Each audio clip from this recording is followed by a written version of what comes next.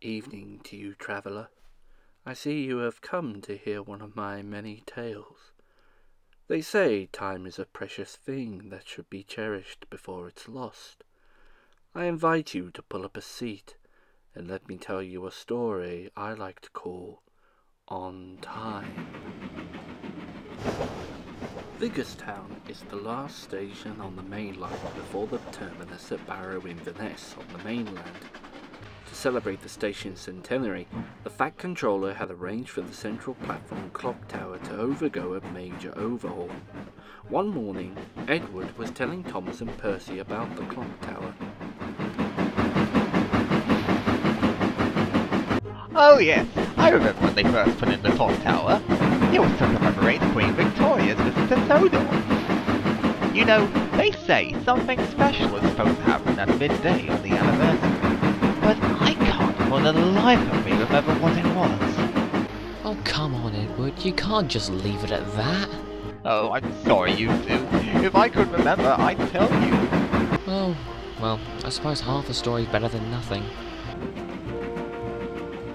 But Percy was curious about what was supposed to happen and eventually talked his crew into going to Vicarstown. And so Percy found himself sitting under the clock tower, eagerly waiting. His driver checked his watch and, as if on cue, the clock began to strike. Percy counted every strike, trying to see if something would happen, but nothing appeared to happen.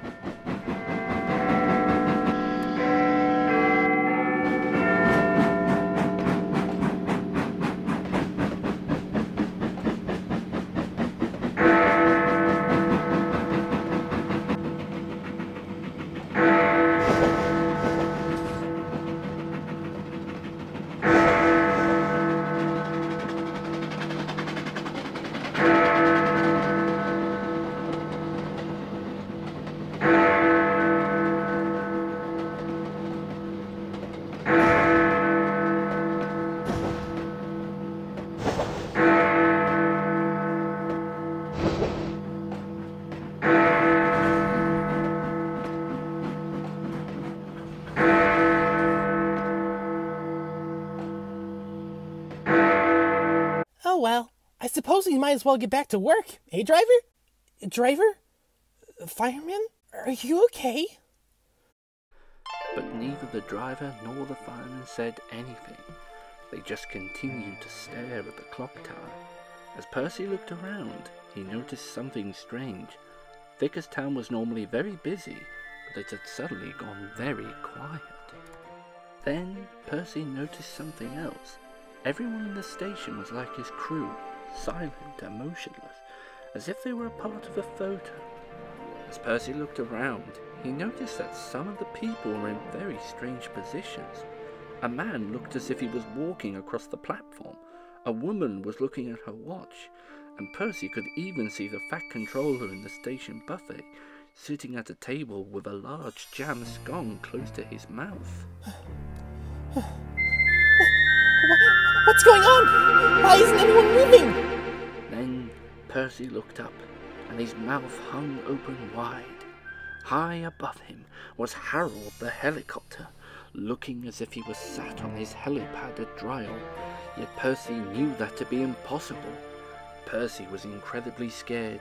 He wanted to run away, but knew that he couldn't without his crew, who continued to stand, staring at the motionless clock tower. Percy waited for what seemed like years to him, alone, yet not alone, for he had the frozen for company. Eventually, Percy heard the clock begin to strike, and as the final chime struck, everything seemed to unfreeze. The man continued walking across the platform. The woman lowered her wrist. The fat controller bit into his jam scone, and Harold resumed flying. As far as Percy could tell, no one knew that they had been frozen in time. Man, what a jip! So much for Edward's something special. Come on, Percy, let's go home. Percy decided not to tell his crew or Thomas and Toby about what he'd seen. Somehow, he didn't think they'd believe him if he told them that he had seen them be frozen in time. Percy still visits Vicarstown station, but he vowed never to visit it at midday on the anniversary of the clock tower's building.